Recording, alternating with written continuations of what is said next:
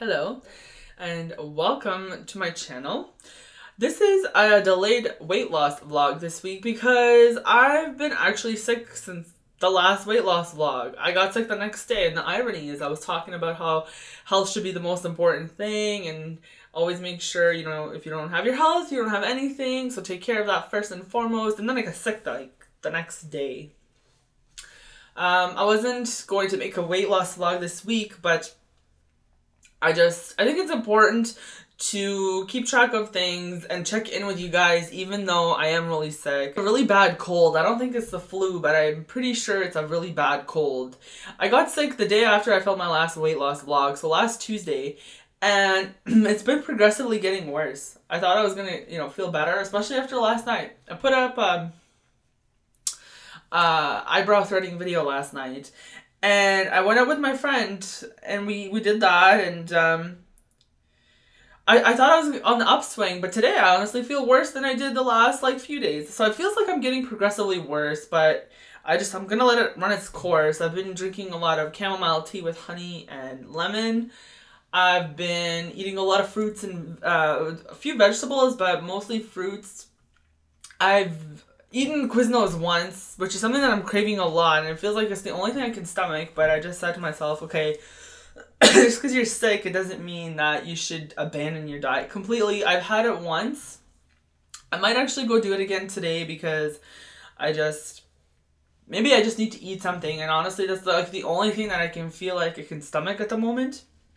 So, um, there's that, and but but other than that, like I haven't really eaten badly. If anything, I feel like I haven't been keeping up my 1800 calories a day, um, rec- like goal that I set for myself. If anything, I think it's below that. So, yeah, maybe I just need to go eat something. I did do a weigh in, but I didn't do measurements, and I won't do measurements for this week. I was 254.7, which means I gained 3.8 pounds since my last weigh in.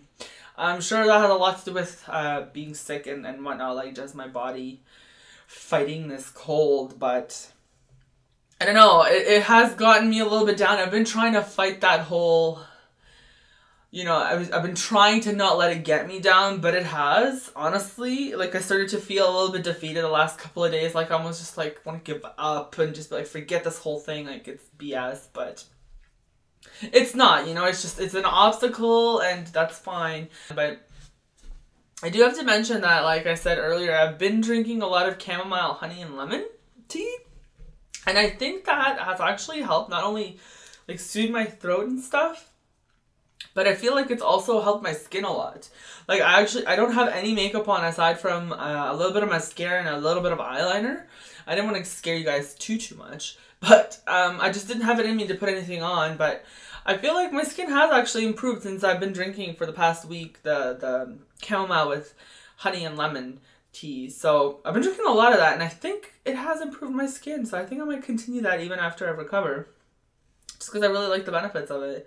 But um, yeah, so as you can tell, I'm having a little bit of trouble. The the lights are irritating my sinuses and everything, and my throat is starting to get dry from talking. So I'm gonna leave it there.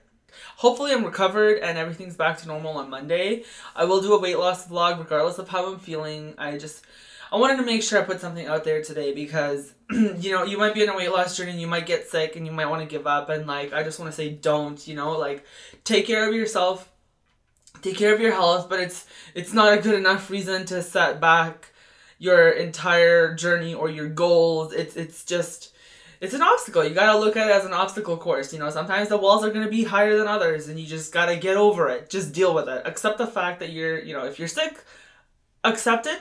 Move on. You know, like be sick, nurse yourself back to health, and once you're healthy again, get back on the horse and do it. And I'm I'm telling you this much as much as I'm telling this to myself. So just keep at it. No excuses. And uh, I'll see you back here Monday. Sayonara.